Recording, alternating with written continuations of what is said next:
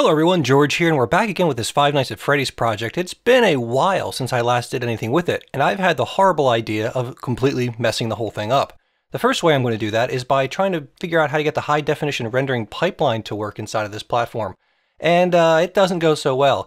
I, uh, I don't know what it is, but uh, apparently I can't see the small install button at the lower right hand corner of my screen as I'm trying to install it. So I go ahead and create a new project just with the HDRP pipeline in place to make sure that it does actually work. I've Never tried it before, so you know, here I can see a scene has been made. I can get an idea of what's in it that makes it actually work. Now I can go back to my scene and we can give it a shot and see how we're going to make it happen.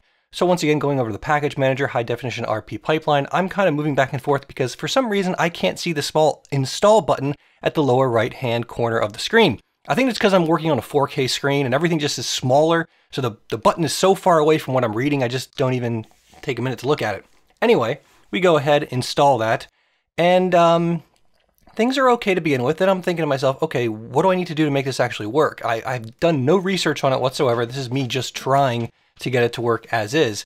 And then I go into Substance Painter, I'm like, okay, well, I'm probably going to need the right materials for this to work anyway. So why don't we go ahead, bring in an old asset, and try to re-export it out with this new pipeline um, because Substance Painter has the Unity HDRP pipeline already built into one of its configurations for exporting. So I go ahead, export that out, I then bring everything in, and then I start trying to use the different features that Unity provides you to convert your project over into one that's HDRP compatible.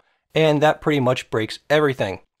Now I'm going back in, I'm looking at the concrete, I'm trying to figure out I'm just trying to get something together that actually works. Here I'm re-exporting those assets out and going to bring them back into Unity under the HDRP pipeline, hoping that maybe somehow it will work.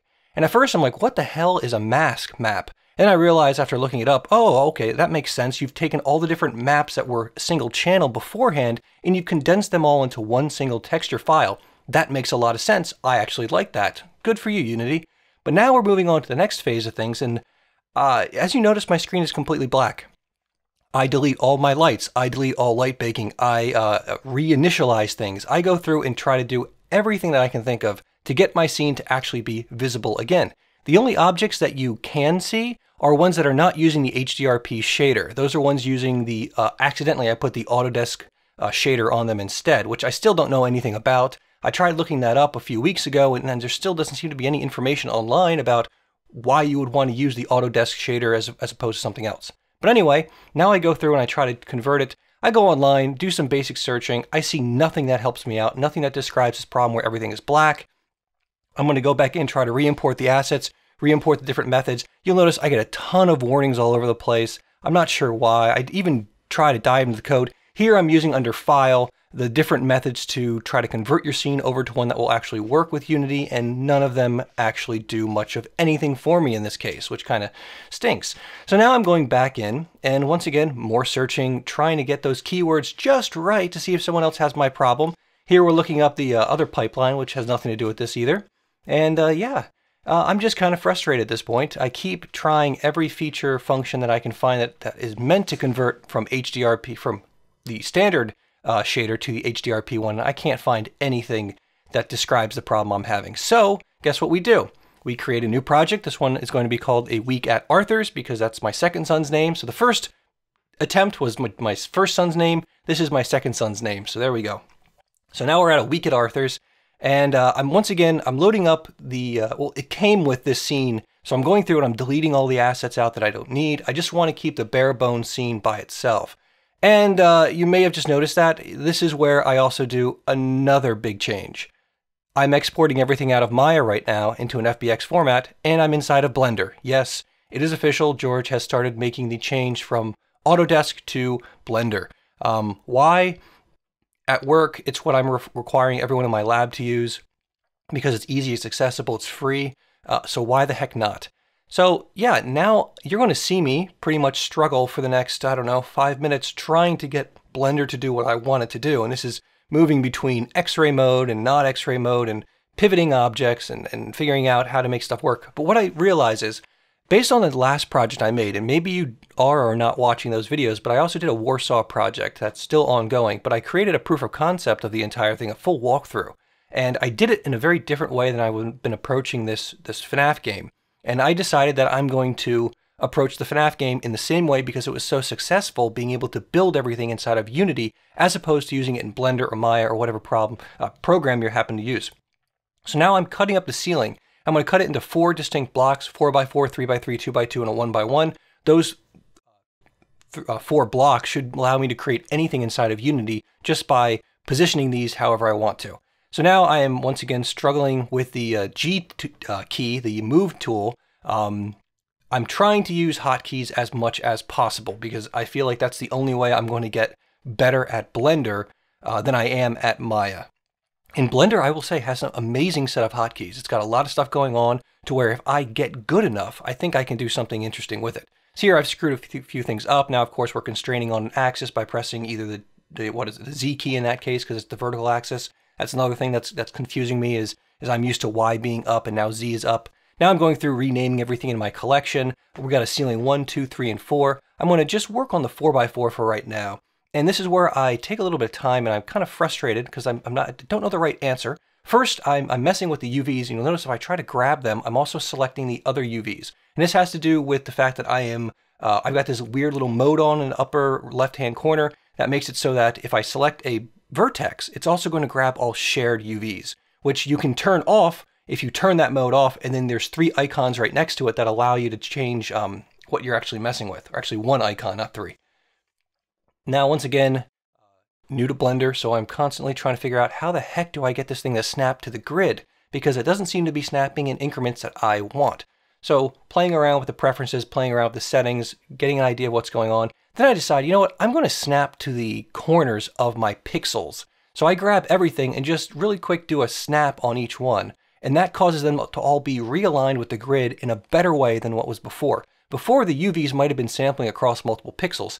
Now, instead, we're sampling across one pixel. And I don't have to worry about that pixel having uh, contrary information next to it. Uh, so here I am making two sets of the UVs. There's a UV set that is going to be for the texture, and then there's one for the light mapping. I don't know if Unity accepts this yet, but in my head, I think it should. The first UV set is all for texturing, which, which allows me to reuse assets or, or texels. The second part is going to be for the light mapping, and I hope I can enable that. Now we export this thing out, bring it over to Substance Painter, and I decided to start playing around with understanding what the normal map and height map are really doing. Uh, every time I read stuff, it's, you know, it, it, tells you, is it DirectX or is it OpenGL? And as someone who's programmed in both of those languages, I do know there's a difference. However, when I bring these height maps into Unity, I don't really see it. I don't see a, like an inversion of the y-axis or something. It looks just fine. So here I'm going through and I'm exporting stuff out and uh, I'm trying to figure out what's going on with these two different maps. So I'm going to create one that's OpenGL based and one that's DirectX based bring them both in. And you can see right there with that image that just popped up, both those normal maps do look different. One is darker than the other, meaning that something's been inverted as far as I'm concerned. But we're going to bring them both in and see if anything changes. And I got to tell you, off the top of my head, just looking at this, I don't see a lot of difference between the two normal maps. So I'm not exactly sure what to do. Before I get to that, though, I'm having horrible problems with exporting assets out and bringing them in over here. And that's because I did not apply any of the transformation, rotations, or scales in my scene to my object. So when I do export them out, it's got all kinds of weird rotations on top of everything else that's going on. So now we're going to go back to my object. I'm mainly working with the 4x4. I also went and subdivided that 4x4 into, into four individual locations. That is, I made uh, three cuts through the center, so it's 4x4 literally. This way, when I use the tessellation stuff and displacement stuff, it looks like it works better in that respect. But once again, I have not done anything inside the Unity shader yet, so this could all be for nothing, and it probably is. Now I'm going to go and affect the pivot, make sure that the bottom of the floor or the ceiling is in line with that uh, that uh, pivot point right there, so that when I bring them in, I've got a nice little offset. This way, when I, I align objects together, everything looks right. And here, I'm just comparing things, and I'm not really noticing much difference between the two different materials. So I say, all right, if I can't see it with something like that, why don't we just go blatant and grab a normal map and just paint on the surface of this. But then I'm like, you know what, even here I'm not quite sure what's going to be up and down. So why don't I paint a height map where I know the white is going to be high level and the blacks are going to be the lower, the lower level and then gray is going to be right in the middle. So we go ahead, bring those two in here. I embellish that, bring it up in scale, and then now I am playing around with the UVs because I don't quite like how they're laid out. So I'm re-rotating them back and forth And a lot of the reason this is taking so long is once again, I'm getting used to Blender. I'm getting used to the hotkeys, I'm getting used to the controls. I'm getting used to the fact that I have to press the 3 key to open up faces and then hit the L key in UV mode to grab all of them at the same time, which is very contrary to Maya where I have I can select entire UV segments that are connected together without doing anything. So it's taking a little bit of time. Going back over here, we got the HDRP slash lit shader going on. checking out different preferences. I got the base, the mask, and the normal map. It seems like that's all I need.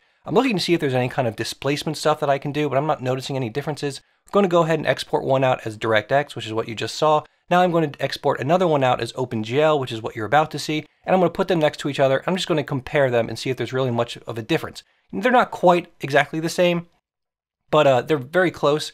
And I'm looking at the angles that the sun is hitting these objects and, and getting a sense of, okay, what's going on here? Uh, they're both darkened on the same side. They both have the same issues. They both seem to be impacting the uh, light in the same ways. What's the difference between the DirectX and the OpenGL? And I know you're going to tell me, George, it's because the y-axis is inverted, duh. But what I'm saying is I'm not seeing that. I don't know what Unity does behind the scenes. Does it automatically convert it? Does it know I'm using DirectX versus OpenGL? Does it take it in, automatically know which one is averaged and figure it out? I don't know. That's what I'm trying to figure out. That's enough for this video. I've messed everything up. I have uh, converted over to a new pipeline. Everything's back to square one practically. And uh, yeah, and I'm using Blender, which means I'm going to be twice, if not four times as slow. This is going to be a hell of a ride, so let's see what happens in the future, alright? So long, everyone.